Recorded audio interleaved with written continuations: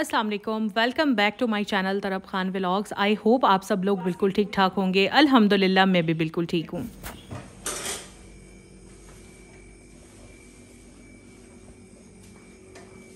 अभी तकरीबन रात के साढ़े दस बज रहे हैं और मैंने आज डिनर आठ बजे ही बना लिया था। अल्हम्दुलिल्लाह, हम सबने कर लिया था और एंड में एक काम रह जाता है किचन समेटने का। सारे बर्तन मैंने वॉश कर लिए थे और अभी वो ड्राई हो चुके हैं तो मैंने सोचा सोने से पहले सारे बर्तन, बर्तनों को कैबिनेट्स में लगा दूँ, क्योंकि गर्मी या बरसात का मौसम जब आता है ना तो ये छिपकलियाँ, हशरात, ये सारे बाहर निकलते हैं तो बर्तन रात को मैं बाहर बिल्कुल भी नहीं छोड़ती। सारे के सारे मैं कैबिनेट्स में ड्रॉर्स में रखती हूँ और उसके बाद ही फिर मुझे सुकून आता है। अच्छा कल की वीडियो पर मेरे दो तीन व्यूअर्स ने कमेंट किया था कि आप डिश वॉशर ले लें लाइफ में सुकून आ जाएगा। लेना मेरे लिए कोई मसला नहीं है अल्हम्दुलिल्लाह लेकिन बात यह है कि डिश वॉशर बिल्कुल एक फ़जूल चीज़ है। आ, हो सकता है बहुत सारे लोग मेरे पॉइंट ऑफ़ व्यू से अग्री ना करें लेकिन मुझे जो लगा मैं तो मेरा फ़र्ज़ है कि मैं आपको सही सही बताऊँ। मेरी बहन के घर में डिश वॉशर है और उनके घर हेल्पर है वही उनके बर्तन वॉश करती है। लेकिन अगर कभी हेल्पर छुट्टी कर जाए तो आप बिलीव करें मेरी बहन डिश वॉशर घर में होते हुए भी डिश वॉशर में बर्तन नहीं नहीं धोती, क्योंकि डिश वॉशर में बर्तन धोना इट सेल्फ एक इतना टाइम टेकिंग प्रोसेस है, क्योंकि आपने उसमें जब बर्तन लगाने होते हैं ना तो आपने, आपकी प्लेटों में अगर कोई गंद है ग्लास में कप्स में, जो भी गंद है, पहले आपको पानी के नीचे उसको साफ़ करना पड़ता है और उसके बाद आपको डिश वॉशर में बर्तन लगाने होते हैं। तो भाई, हम तो पाकिस्तानी देसी लोग हैं, इतना टाइम उस पर ज़ाया करना है तो सिंक के नीचे खड़े खड़े जल्दी जल्दी दो हाथ मारो और सारे बर्तन धो ले बंदा ना। तो हेल्पर्स तो छुट्टी करती रहती हैं, ये तो एक बड़ी कॉमन बात है। अब अगर मुकदस छुट्टियों पर है या सपोज़ अगर वो काम भी छोड़ जाती है तो अल्टीमेटली मेरे घर में कोई और हेल्पर आनी ही आनी है, क्योंकि हेल्पर्स के बगैर मेरा गुजारा नहीं है। तो मुझे ना डिश वॉशर एक फ़जूल चीज़ लगती है, इसीलिए ना तो मैंने अब तक बाय किया है, ना ही फ्यूचर में मेरा बाय करने का कोई प्लान है। आज मैं बनाऊँगी अचार गोश्त और मैं नेशनल अचार गोश्त के मसाले से बनाऊँगी।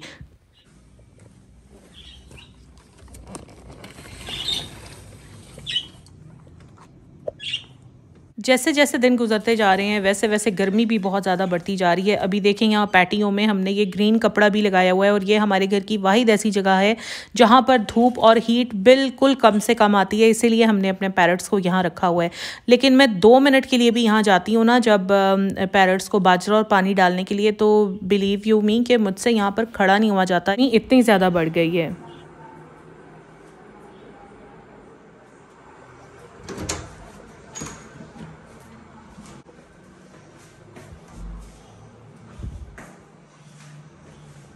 अच्छा तो अभी मैं आ गई हूँ अपने वॉशरूम में। यहाँ से मैं उठाऊँगी कुछ शैम्पू और कंडीशनर आप लोगों को रिव्यू दूँगी। भाई मुझे बहुत अच्छा लगता है नए नए अच्छे अच्छे महँगे महँगे शैम्पूज़ और मास्क और कंडीशनर यूज़ करना। अभी ये जो शैम्पू मेरे हाथ में है ना, ये फ़ाइव थाउज़ेंड का शैम्पू है और ये मास्क भी इसका फ़ाइव थाउज़ेंड का है।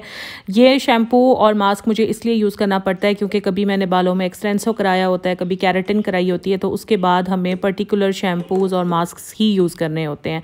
आप लोगों को मैं बताऊँ बताऊँगी कि अगर आप लोगों के बाल केमिकली ट्रीटेड नहीं हैं, ठीक है? यानी अगर कोई आपने एक्सटेंसो कैरेटीन नहीं करवाई हुई तो आप किस तरह के शैम्पूज़ यूज़ कर सकती हैं? यानी अगर आपके बाल रूखे फीके हैं, बेजान हैं, और वॉश करने के बाद ऐसा लगता है ना जैसे बालों में बम फट गया हो। इतने ज़्यादा ड्राई एंड ब्रिटल हैं तो मैं आज आपको एक बहुत ही अच्छे शैम्पू और मास सॉरी कंडीशनर के बारे में बताऊँगी। ये देखें जी, ये है लॉरियल का एलवाइव सिक्स ऑयल नरिशमेंट ये बहुत ही अच्छा शैम्पू है और इसका कंडीशनर भी बहुत ही अच्छा है। महँगा भी नहीं है अफोर्डेबल है। मैंने यहाँ पर इसकी बड़ी बॉटल ली हुई है। ये बड़ी बॉटल जो है, इसकी आई थिंक सेवन की है। और इसका जो कंडीशनर है, वो भी कोई महँगा नहीं है थ्री फिफ्टी या फोर हंड्रेड का इसका कंडीशनर है। अगर आप शैम्पू की छोटी बॉटल लेंगे तो वो फिर और ज़्यादा उसकी प्राइस कम हो जाती है। लेकिन बहुत ही यार मज़े का शैम्पू और कंडीशनर है। देखें, बहुत सारे लोगों को ये गलत फहमी है कि बालों के टूटने, बेजान होने में शैम्पू का कोई रोल नहीं होता। नहीं, ऐसा नहीं है। शैम्पू का वाकई ही एक मेजर रोल होता है बालों के टूटने और गिरने में। हाँ बहुत सारे लोगों को इंटरनल इशूज़ होते हैं, जिनकी वजह से उनका हेयर फॉल हो रहा होता है। तो वो क्या करते हैं? वो अपना अपना सारा फोकस सिर्फ़ शैम्पू और कंडीशनर और मास्क पर लगा देते हैं और जो उन कि इंटरनल जो उनकी बॉडी में मसले चल रहे होते हैं, उनकी तरफ़ वो नोटिस ही नहीं करते। तो आप लोग सबसे पहले इंटरनल जो आपके प्रॉब्लम्स हैं ना, जो आपके बॉडी इश्यूज़ हैं, उनको देखें कि कहीं आपको हार्मोनल इम्बेलेंस तो नहीं है, कहीं आप वाइटामिन डी डेफिशेंट तो नहीं है, आपको थायराइड का प्रॉब्लम तो नहीं है, आप हाई ब्लड प्रेशर की टैबलेट्स तो नहीं ले रहे हैं तो ये सारे रीज़न्स जो है ना, इनकी वजह से हेयर फॉल होता है।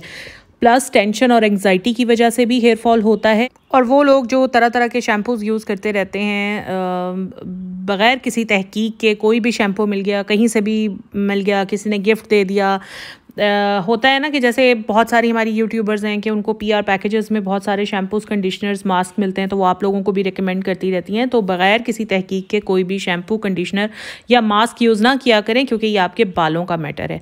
अच्छा जी, अब मैं आ गई थी ड्राइंग रूम में और ड्राइंग रूम से माशाला गार्डन का व्यू इतना अच्छा आता है। यार, मुझे ग्रीनरी बहुत ज़्यादा पसंद है। अल्लाह ताली की नेमतों में से एक हसीन तरीन नेमत है ग्रीनरी मुझे बहुत ज़्यादा पसंद है। तो जब भी मैं यहाँ आती हूँ ना, मुझे ये अपने गार्डन का मंज़र, फिर सामने वाले घरों में भी माशाल्लाह ग्रीनरी बहुत ज़्यादा है, उनके भी ट्रीज़ वगैरह नज़र आते हैं, वो भी मुझे बड़े अच्छे लगते हैं।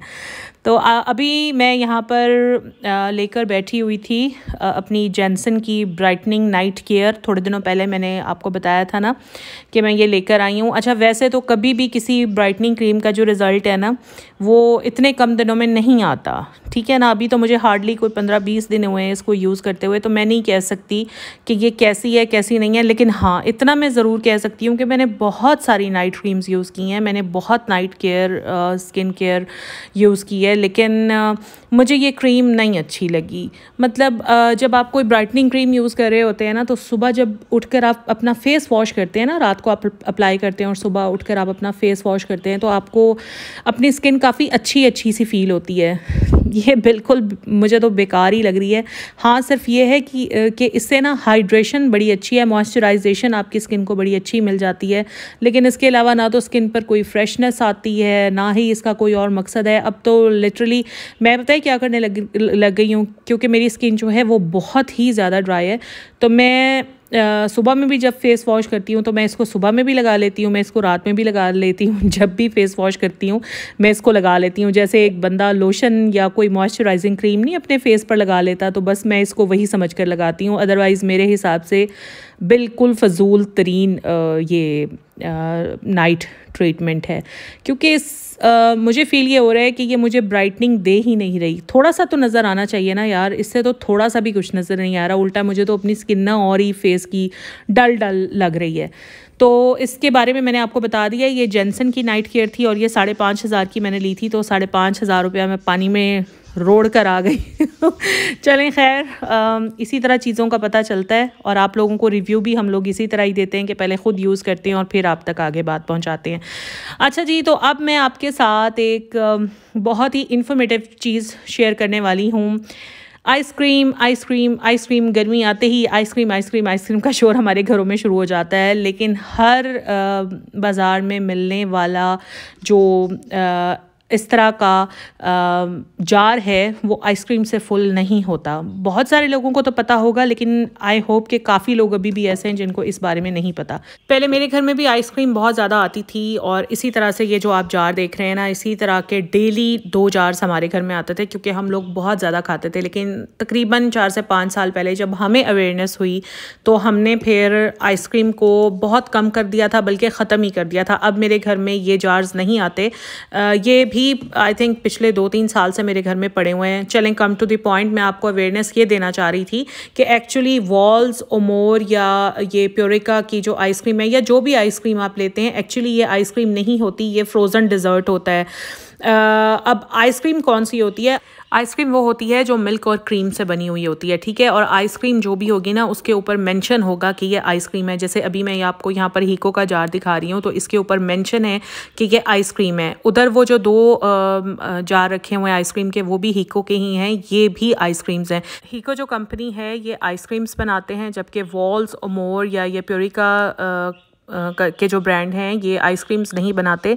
ये सारे फ्रोज़न डिज़र्ट्स होते हैं। आप जब भी मार्केट जाकर वॉल्स की ओमोर की या किसी और ब्रांड की अगर आप इस तरह से इनका कुछ भी लेते हैं तो these are not ice creams these are frozen desserts और ये जो फ्रोज़न डिज़र्ट्स होती हैं ना, ये वेजिटेबल ऑयल से बनाई जाती हैं। इसमें दूध क्रीम इस तरह की कोई भी चीज़ नहीं होती।